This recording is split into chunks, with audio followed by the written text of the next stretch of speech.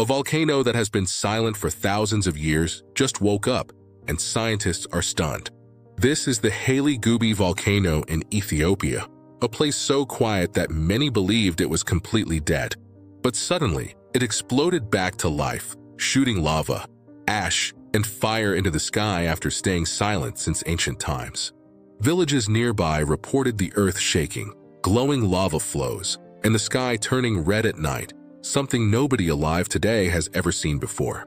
Scientists rushed to study the eruption because this region sits on one of Earth's most unstable cracks, where the African continent is literally splitting apart. This eruption could be a sign of a much bigger geological shift happening below the surface. What's even more shocking is that experts say this volcano could stay active for years. For a volcano to sleep for thousands of years and suddenly awaken like this is one of the rarest natural events we ever get to